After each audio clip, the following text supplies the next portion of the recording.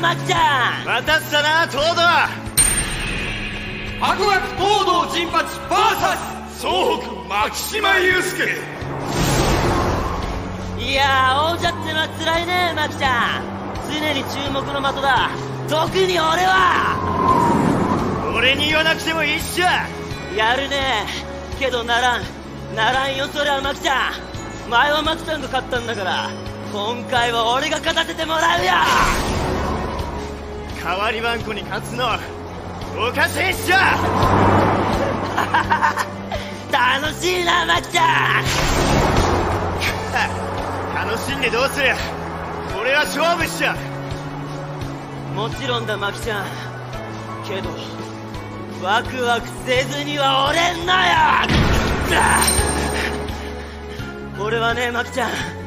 マキちゃんのその走りを初めて見た時の衝撃を今でも覚えてるよ。こんなめちゃくちゃな走りをする奴がこの世にいるんだって。けど俺は密かに嫉妬したんだ。そのめちゃくちゃなクライムでめちゃくちゃ山を早く登れるマキちゃんを。自分より早く山を登れる奴は誰もいないと思ってたからさ。だから俺はめちゃくちゃな走りのマキちゃんを倒してめちゃくちゃかっこいい奴になりたいと思ったんだ。自転車は回した分だけ強くなれる。それだけを信じてひたすら回した。俺は平地じゃど遅いからな。神より遅いと先輩にバカにされた。唯一得意なものは山だと答えこの走りを見せたら。そんなフォームじゃダメだと強制された。だから俺は人知れず密かにずっと練習しこの走りを極め続けた。山頂まで残り 500!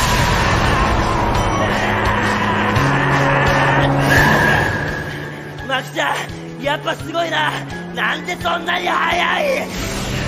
俺はもう限界走行だ。東堂お前の底力は何なんだ。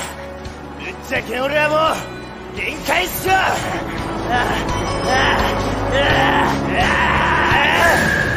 不思議だなマキちゃん。わかる気がするぜ。今お前も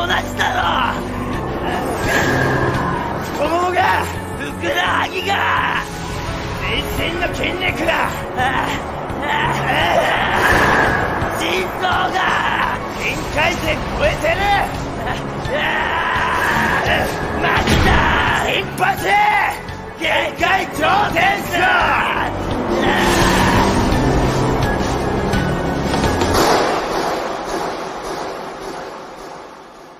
はやっちまった。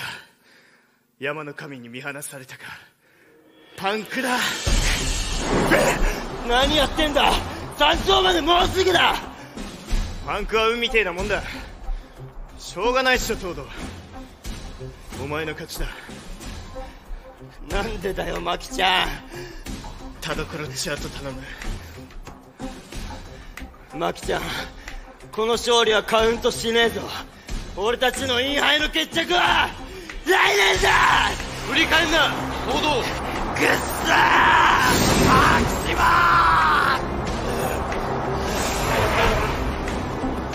なぜゆえ？え？